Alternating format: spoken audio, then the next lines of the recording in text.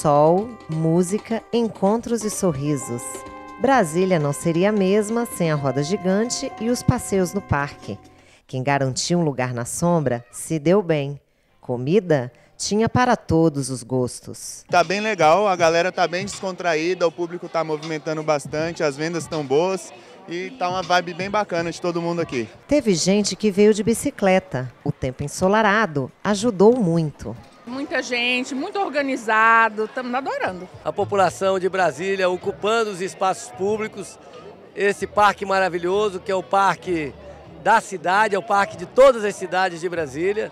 E a gente está muito feliz de estar aqui é, compartilhando essa alegria toda de estarmos celebrando os 55 anos de Brasília. Feriado que se preze tem que ter piscina com a família. Eu frequento o clube de vizinhança há 11 anos. Esse é o nosso jardim, porque nós moramos aqui do lado e frequentamos todos os dias, fizemos todas as nossas atividades aqui no clube. Hoje também é o aniversário do Clube Vizinhança e para comemorar, capoeira.